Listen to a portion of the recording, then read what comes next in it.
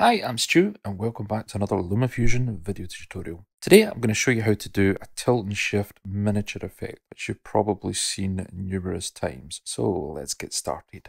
To sell the tilt shift miniature world effect, it's better to have a video clip that you're looking down on your subjects and the smaller they are in frame the better. This already has a kind of miniature world effect because it's been shot wide and from a higher level of elevation you can see there. So the first thing we're going to do is go to size and position. That's number one on the keyboard if you're using keyboard shortcuts and then we're going to increase the size and get as close to 115 as possible and then just dial in using the little arrows either side and that increases the canvas. Now, the reason we do this is when we add the blur and then the cropping effect, uh, what happens is the edge, the outer edge becomes blurry as well and the cropping exaggerates that. So by increasing the canvas size, we're mitigating or hiding the edge blurriness. Now once we've got that, I'm gonna highlight the clip again and just duplicate it. That's Command D, duplicate things. And then we're going to go into our color and effects and tap on the blur option. Now you want the blur to be quite heavy to start with and you can dial it back later on. Start off with around about Gaussian 20 and you can see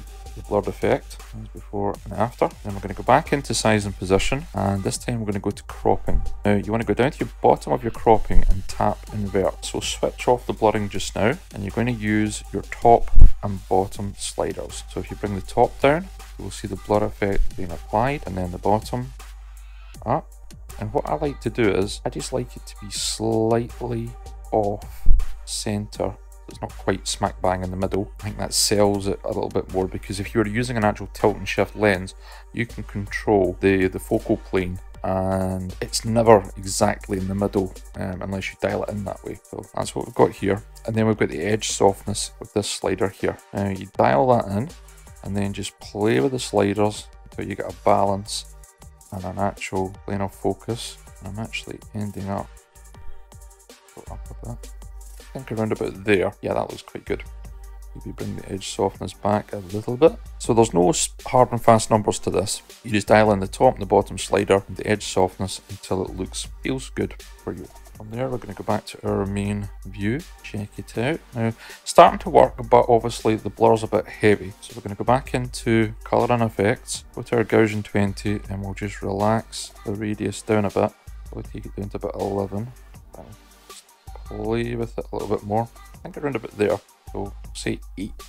And then you can see the overall effect. I tend to find when you're doing with that, doing this, because you've applied the effect, it doesn't look real, believe it or not. And it probably won't work for your eyes because you know that you've it up. The best thing to do is to actually apply the effect, render the video if you want to render it, or just leave it in LumaFusion. Go and have a cup of coffee or a cup of tea, come back to it five or 10 minutes later and have another look at it and you'll find that it'll look better.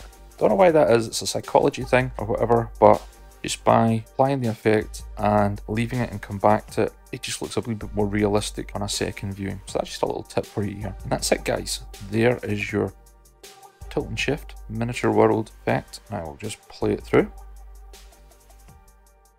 As I said already, getting a clip that is from a high vantage point looking downwards, so you're elevated looking downwards, wide shot, and your subjects are quite small as it is, really sells the look. And it's quick and easily applied by going to Gaussian blur, in this case I went in at 8, and then the cropping to suit.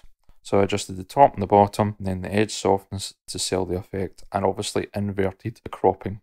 And that's us. So if you enjoyed the video, like and subscribe, all the good YouTube stuff, and I will catch you on the next one. Bye.